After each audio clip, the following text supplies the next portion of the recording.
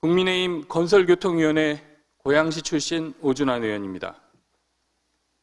오늘 본 의원은 지난 2월 7일 경기도가 발표한 버스 요금 동결 결정에 대한 문제점을 지적하고 안정적인 교통 서비스를 위한 단계적 버스 요금 인상을 제안하고자 합니다. 학교에서 배우기를 의식주는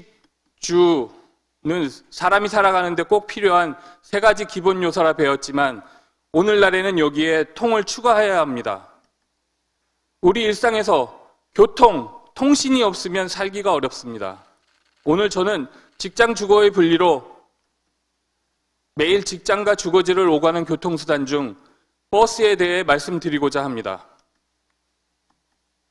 지사님, 버스 요금 인상이 발생했음에도 요금을 동결하겠다는 것은 누군가가 인상된 만큼의 비용을 대신 지급해야 한다는 사실도 도민들께 제대로 설명하셨는지 묻고 싶습니다.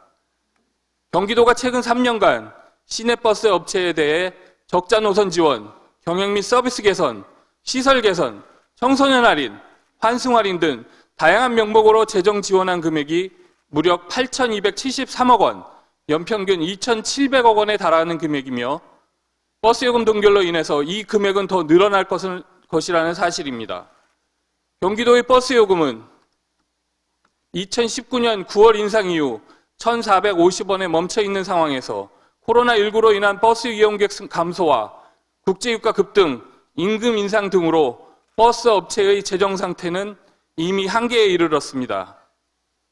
옛날에는 소 한 마리가 한 집안을 먹여 살린다는 말이 있었듯이 1980년대만 해도 버스 한 대만 있으면 온 가족이 먹고 살고 자식들 대학까지 보낼 수 있다고 했었는데 다 옛날 고리적 말도 안 되는 이야기가 되어버린 지 오래입니다. 반면 2023년 현재는 수백 대의 버스를 운영해도 누적된 적자로 인해 파산 위기에 처한 버스 업체가 발생하고 있을 정도입니다. 매년 경기도의 지원에도 불구하고 운송 원가에도 미치지 못하는 요금 탓에 민영제로 대부분 운영되는 경기도 버스의 특성상 요금이 인상되지 않는다면 차량 정비 비용, 노후 차량 교체, 교체 비용 등 버스에 대한 필수 유지 비용을 줄이게 될 것이며 재정이, 재정이 열악해진 업체의 경우 폐업으로 이어져 도민 불편은 가중될 것입니다.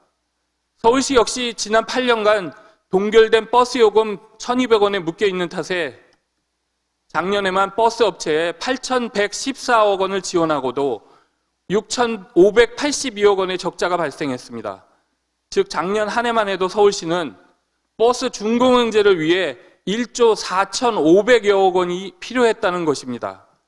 지하, 지하 철 적자와 버스 적자를 떠안은 서울시 교통공사도 불어나는 적자 탓에 약 17조 원의 빚을 지고 있고 그 이자만 해도 하루 약 10억 원에 달한다고 합니다.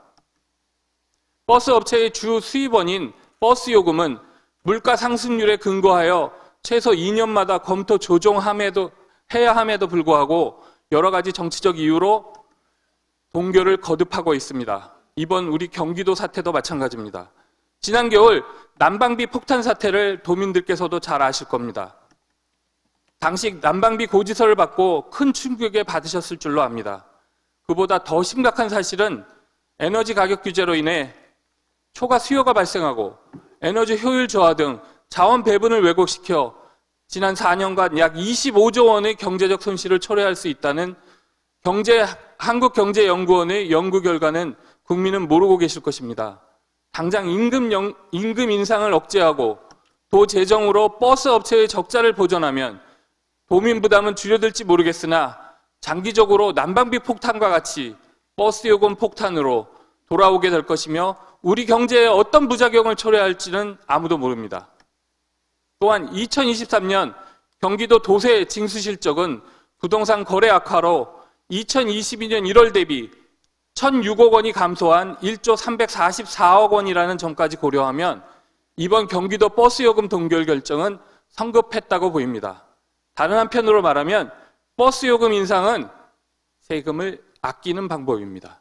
김동연 지사님, 경기도 버스 서비스가 도민과 버스 업계가 만족할 수 있, 있도록 버스 요금이 운송 원가에 한참 미치지 못하고 있다는 사실을 상세히 설명한 후 적정한 인상률을 반영하여 점진적, 점진적으로 버스 요금을 인상하는 것이 서민 경제의 충격 완화에 도움이 될 것이며 버스 업체에 대한 재정 지원 방안 마련이 도 재정 건전성 확보에도 도민 부담 완화라는 두 마리 토끼를 잡는 방안이라는 것을 말씀드리며 이상 5분 자유 발언을 마치도록 하겠습니다.